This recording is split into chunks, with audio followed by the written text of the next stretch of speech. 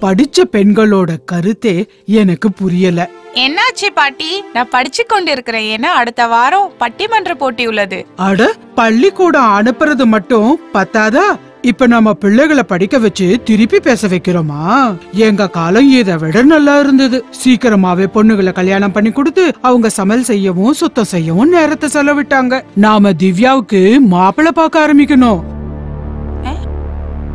அவ இன்னும் சின்ன பொண்ணுமா? என் குழந்தைகள் எவ்வளவு படிக்க விரும்புறாங்களோ அவ்வளவு படிக்க நான் உறுதிப்படுத்துவேன். அவ அதிகமா படிச்சா மாப்பிள்ளை பாக்குறது கஷ்டமாயிடும்.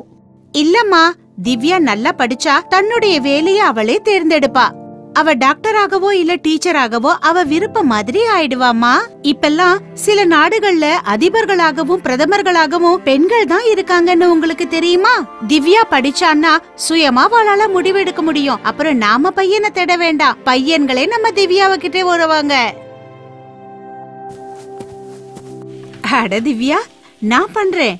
நீ போய் படிமா பாட்டி சொல்றத மனசுல வச்சுக்காத.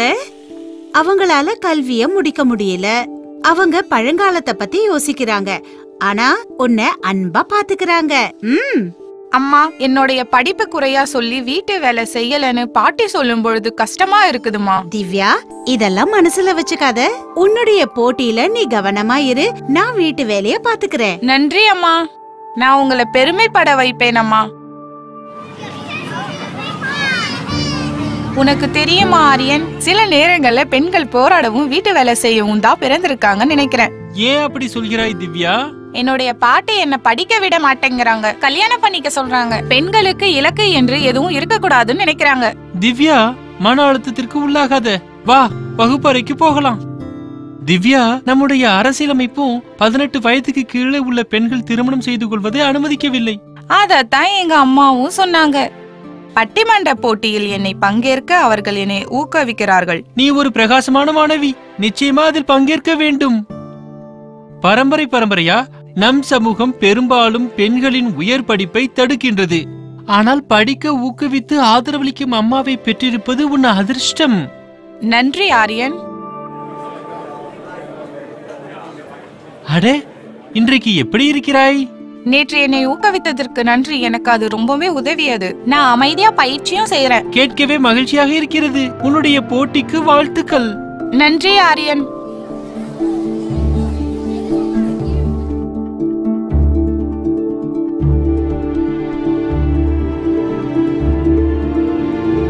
இந்த ஆண்டு மாவட்டம் பட்டிமன்ற போட்டியில் வெற்றி பெற்றவர்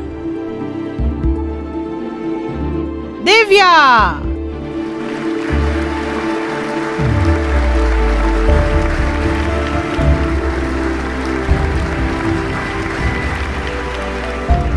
நீங்கள் நன்றாக பேசினீர்கள். எல்லா பெண்களும் உங்களைப் போல நம்பிக்கையுடன் இருக்க வேண்டும். அடுத்த மூன்று ஆண்டுகளுக்கு உங்கள் கல்விக்கான உதவித்தொகையை வழங்குவதில் நாங்கள் மகிழ்ச்சி அடைகிறோம். உங்களுக்கு ஒரு மடி கணினியையும் தருவோம். ஆண் மற்றும் பெண் குழந்தைகளின் கல்வியில் முதலீடு செய்வது முக்கியம். இருவருக்கும் சமமான வாய்ப்புகளை வழங்குவது முக்கியம். இன்று எங்களுடன் இணைந்த அனைவருக்கும் நன்றி. வாழ்த்துக்கள் திவ்யா. நன்றி பாட்டி. நான் ரொம்ப படிச்சவ இல்ல. ஆனா கல்வியோட முக்கியத்துவத்தை இப்ப உணர்றேன். நான் உன்னை நினைச்சு பெருமைப்படுறேன். ஒவ்வொரு நபரின் ஒட்டுமொத்த உடல் மற்றும் உணர்ச்சி மகிழ்ச்சிக்கு அவசியமாகும். இருவருக்கிடையேயான நல்லுறவு முக்கியம். ஒருவருக்கொருவர் உணர்ச்சிகளை புரிந்து கொள்வது கவனிப்பது மற்றும் கேட்பது முக்கியம். இந்த திறன்கள் நம்மை சுற்றி உள்ளவர்களுடன் நேர்மறையான தொடர்புகளை உருவாக்க உதவுகின்றது. இது நண்பர்கள் உடன்பிறப்புகள் பெற்றோர்கள் அல்லது ஆசிரியர்களுடன் அமையலாம். மற்றவர்களின் உணர்ச்சிகளையும் நாம் புரிந்து கொள்ளும்போது அவர்களின் தேவைகளை நாம் கூர்ந்து உணர்கிறோம். அது நம் உறவுகளை பலப்படுத்த உதவுகிறது.